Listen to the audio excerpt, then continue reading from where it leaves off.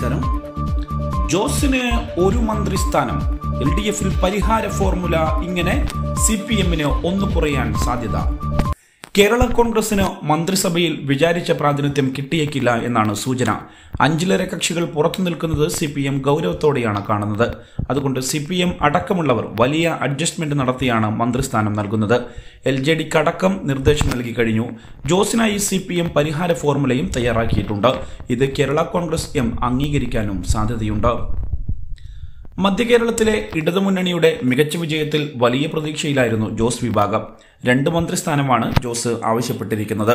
അനുകൂല നിലപാട് ഇടതുമുന്നണി നേതാക്കളിൽ നിന്ന് കിട്ടിയെന്നും ജോസ് പറയുന്നു. അഞ്ച് സീറ്റുകൾ കേരള കോൺഗ്രസ് നേടിയിട്ടുണ്ട്. കോട്ടയം ഇടുക്കി പത്തനംതിട്ട ജില്ലകളിലായി ഇടതുമുന്നണിക്ക് പതിനാല് സീറ്റാണ് കിട്ടിയത്. ന്യൂനപക്ഷ വോട്ട് വിഹിതവും നാല് ശതമാനം കൂടി. ഇതെല്ലാം കേരള കോൺഗ്രസിന്റെ ശക്തി കൊണ്ടാണെന്ന് ജോസ് കരുതുന്നു. ഒരു മന്ത്രിസ്ഥാനമേ ലഭിക്കാൻ ഇടയുള്ളൂ എന്ന സൂചന കേരള കോൺഗ്രസിന് നൽകിയിട്ടുണ്ട്.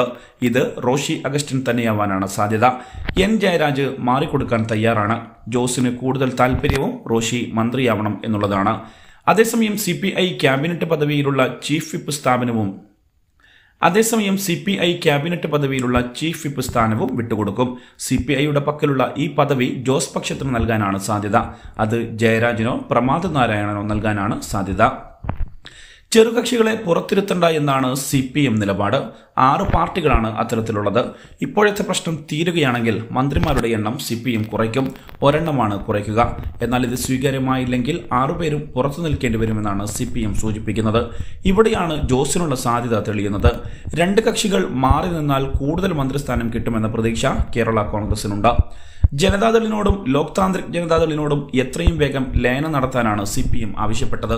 ഇവർ രണ്ടുപേരായി നിന്നാൽ ഓരോ മന്ത്രിസ്ഥാനം നൽകാനാവില്ല എന്ന് കൃത്യമായി തന്നെ സി പി എം അറിയിച്ചിട്ടുണ്ട്.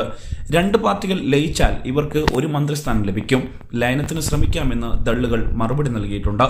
ഇവർ ലയിച്ചാൽ പിന്നെ ഏകാംഗ കക്ഷികൾ അഞ്ചെണ്ണമേയുള്ളൂ. അത് പ്രശ്നങ്ങളെ വീണ്ടും കുറയ്ക്കും. കോവൂർ കുഞ്ഞുമോൻ ഇത്തവണയും മന്ത്രിസഭയിൽ ഇടം പിടിക്കാൻ സാധ്യതയില്ല. കാരണം അദ്ദേഹം ഇടതുമുന്നണിയിലെ ഘടകകക്ഷിയല്ല. മുന്നണിക്ക് പുറത്തു നിർത്തി സഹകരിപ്പിക്കുന്ന കുഞ്ഞുമോനെ അക്കാരണം കൊണ്ട് തന്നെ പുറത്തിരുത്താം. കടന്നപ്പള്ളി രാമചന്ദ്രൻ അഹമ്മദ് ദേവർകോവിൽ കെ ബി ഗണേഷ് കുമാർ ആന്റണി രാജു എന്നിവരാണ് പിന്നീടുള്ളത്. ഇവരെ എല്ലാവരെയും ഉൾപ്പെടുത്തണമെന്നാണ് സി ആഗ്രഹിക്കുന്നത്. ഗണേഷ് കുമാർ എന്തായാലും ഉണ്ടാവുമെന്നാണ് സൂചന.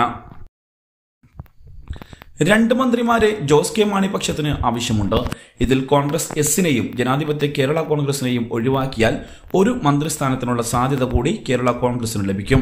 എല്ലാ കക്ഷികളെയും ഉൾപ്പെടുത്തേണ്ട എന്ന നിലപാടിലാണ് ജോസ് കെ മാണി. ജയരാജ് കൂടി മന്ത്രിസഭയിൽ വന്നാൽ മൂന്നാം കക്ഷി എന്ന ലേബൽ ഉറപ്പിക്കാം.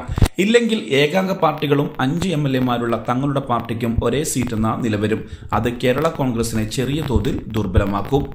News desk national news.